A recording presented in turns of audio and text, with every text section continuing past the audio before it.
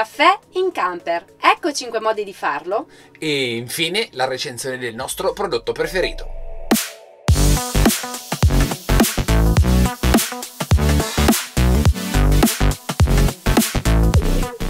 Sempre, prima di procedere vi chiediamo un like a questo video e di iscrivervi al nostro canale attivando la campanella delle notifiche. Un'operazione che a voi non costa nulla, ma per noi è veramente molto importante. Vi ricordiamo anche che abbiamo creato una community su Telegram, è un gruppo che appunto si chiama Community di 5 in Camper, ci trovate lì con tanti appassionati di camper per discutere di vari argomenti e abbiamo discusso anche di caffè e quale potesse essere lo strumento migliore per realizzarlo in camper. Noi abbiamo raccolto tutti i suggerimenti pertanto avremo questa maxi comparativa e soprattutto uno degli oggetti non lo abbiamo con noi perché è un pochino particolare ed è stato proprio un membro di, della community a fornirci il video e a raccontarci come funziona questo oggetto, ma lo vedremo tra pochissimo.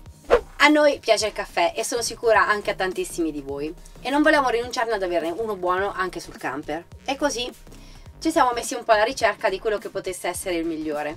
Ovviamente tutti quanti hanno una moca e noi per lungo tempo abbiamo utilizzato questa. I vantaggi della moca sono che ovviamente è di facile utilizzo, però magari sul gusto non tutti sono eh, particolarmente appassionati, specialmente quelli che amano l'espresso. Infatti noi apparteniamo a quest'ultimo gruppo, non ce ne vogliano i puristi che ritengono la moca il vero caffè, mm, è un gusto che a noi non aggrada moltissimo, però di fatto va riconosciuta la sua eh, semplicità di utilizzo, in qualsiasi condizione basta un po' d'acqua, polvere di caffè e un fornello anche da camping esterno in una qualsiasi situazione un caffè si tira fuori, insomma. Un'altra possibilità è fare il caffè solubile. Questa in assoluto probabilmente è la più veloce e più facile perché basta avere un po' di acqua calda, un cucchiaino e il gioco è fatto. Esistono anche poi le versioni cappuccino per chi non, non ama particolarmente il gusto del caffè che assomiglia un po' a quello americano. Esatto, poi tra l'altro è facilmente realizzabile perché, ripeto,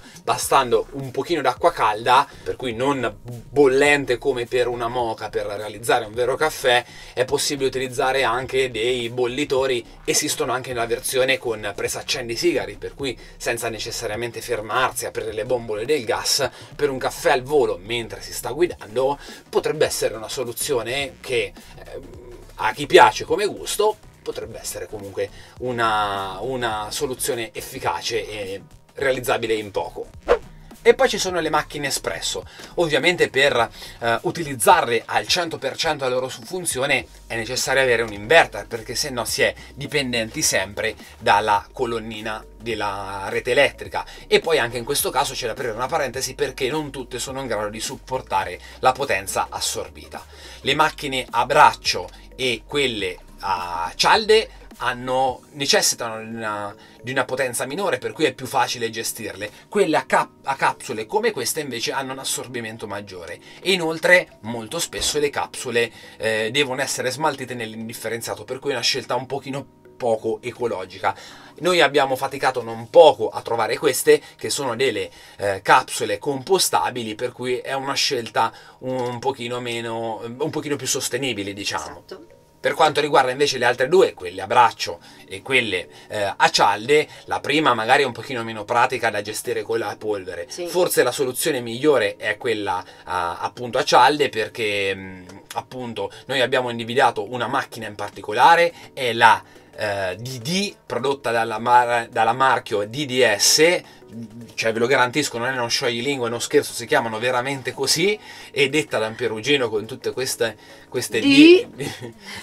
è fantastica, è quasi, sembra quasi il classico scioglilingua brodo de dado Bro. per riconoscere la nostra provenienza, però è un marchio che a noi piace molto e anche la macchina ci piace molto perché è compatta, assorbe solo 450 watt e soprattutto oltre ad essere rivenduta nelle grandi catene e nei classici classici store online, si trova anche nei centri di riparazione, quelli un pochino più blasonati che riparano anche gli aspirapolvere, il robot da cucina un pochino costosetti. Pertanto sì. ha un'ampia rete di distribuzione, di rivendita e di riparazione e si trovano anche tutti i ricambi e che ricordiamo essere made in Italy. Esiste in verità un'altra macchina espresso a 12 volts eh, che però noi non abbiamo provato quindi non vi sentiamo di mh, parlare non ci sentiamo di parlarne perché non sappiamo mh, effettivamente cosa spiegarvi. sì, cosa... abbiamo visto delle, eh, qualche immagine online, non abbiamo capito chi la distribuisce, chi la rivende, sappiamo solo che è pensata per l'uso in movimento perché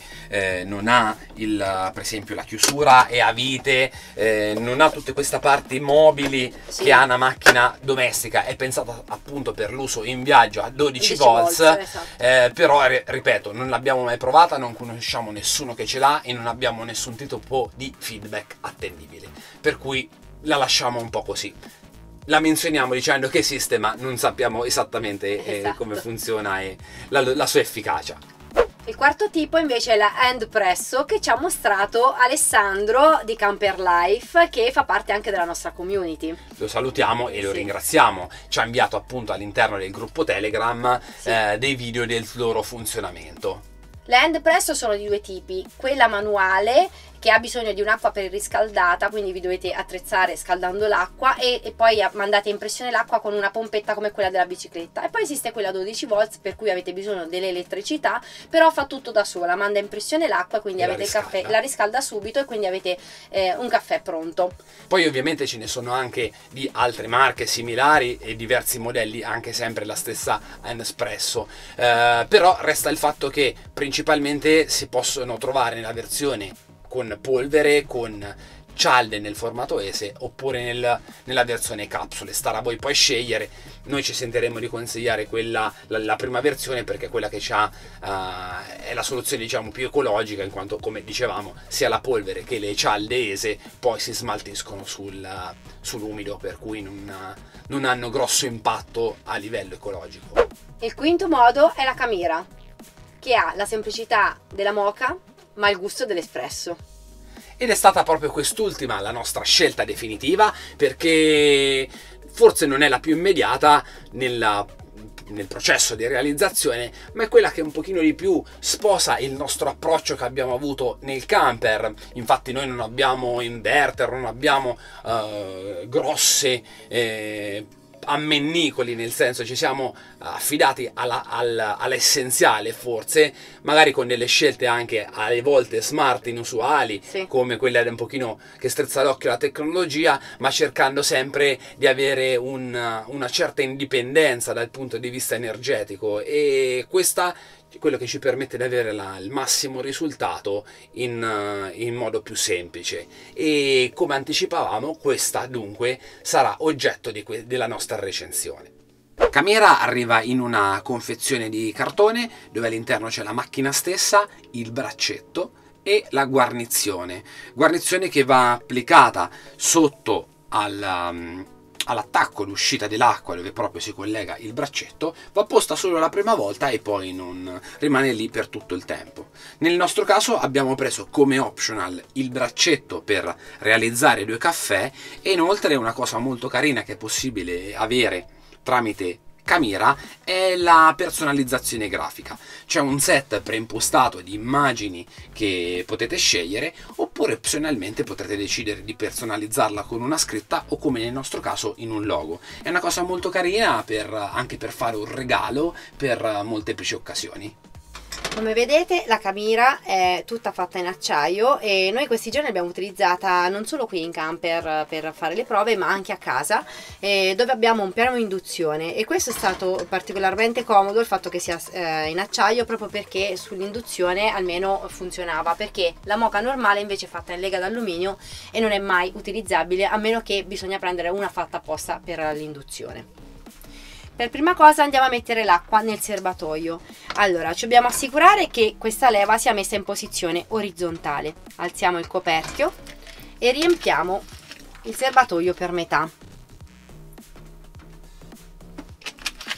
Adesso facciamo defluire l'acqua aprendo la leva e mettendola in posizione verticale. Nel caso l'acqua non dovesse scorrere, basta inclinare un pochettino la macchina perché potrebbe formarsi una piccola bolla d'aria. Quando il serbatoio sia svuotato, richiudiamo la leva e la rimettiamo in posizione orizzontale. Solo a questo punto dobbiamo chiudere il coperchio. Mettiamo il bicchiere qui sotto ed andiamo a accendere il gas.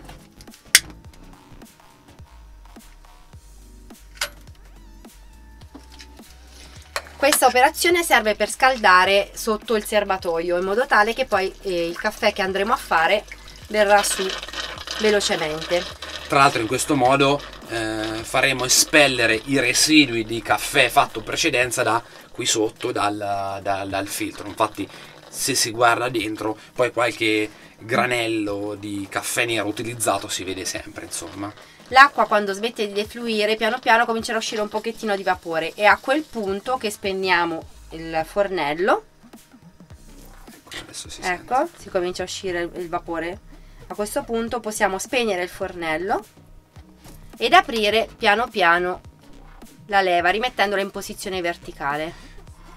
Questo servirà a eliminare la pressione all'interno della esatto, macchina. questa è un'operazione che adesso eh, si può fare un pochino più tranquillamente perché non essendoci il braccetto non c'è grossa pressione, ma dopo vedremo che è un'operazione da fare molto lentamente.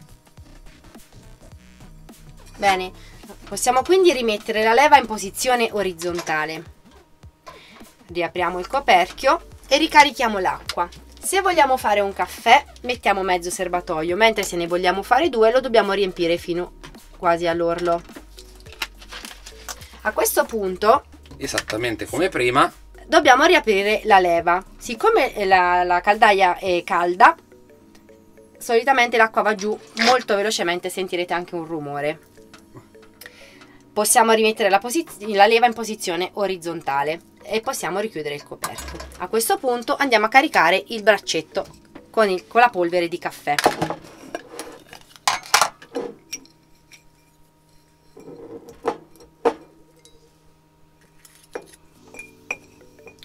Ecco, riempiamo senza pressare in maniera esagerata. Sì, viene consigliato ecco, di eh, riempire fino a sbordare, dare qualche colpetto d'assestamento e poi... Eh, Livellarla. Esatto. Quindi faremo così. Dai. E poi adesso io utilizzerò la, il cucchiaino per fare un'unica operazione. La andiamo a livellare in questa maniera. Ecco fatto. A questo punto siamo pronti per montare il braccetto del caffè.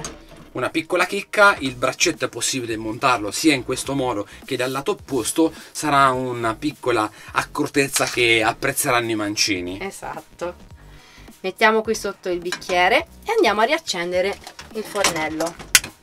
Allora, a questo punto il fornello deve essere messo a tre quarti. A tre quarti dopo qualche secondo comincerà ad uscire il caffè. Eccolo. Quando la tazza adesso possiamo rialzare il, la, la, fiamma e metterla uh, diciamo al massimo. Aspettiamo che esce il caffè vedete? Quando siamo arrivati diciamo alla metà della tazza possiamo andare a spegnere il fornello. Eccolo qui. Vedete che crema che viene su? È molto corposa.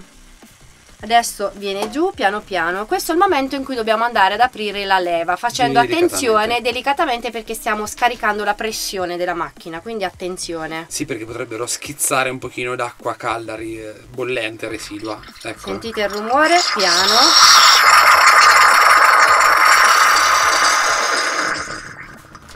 il nostro caffè è pronto. Guardate un po' che crema. È veramente densa e consistente. E vi assicuro che anche il sapore è veramente eccezionale perché il caffè in questa macchina non brucia. Anzi vi dico per finire di bere il caffè avete bisogno del cucchiaino per prendere la schiumina è densissima è veramente veramente gradevole. Guardate non si smonta.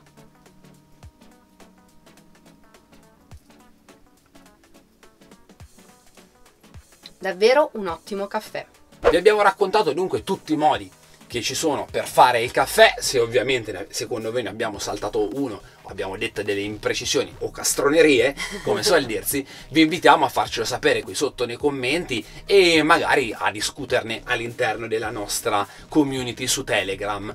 Community che continuiamo a ringraziare per gli spunti e le riflessioni, ancora una volta Alessandro di Camper Life, membro attivo della nostra community. Come sempre tutti i prodotti di cui abbiamo parlato hanno il link qui sotto, quindi se avete voglia di andare a visionare, a curiosare qualcosa, li trovate qui. Anche per questo video è tutto, noi ci vediamo nel prossimo episodio, sempre qui su 5 in camper. 5 in camper. 5 in camper. 5 in camper. 5 in camper. 5 in camper.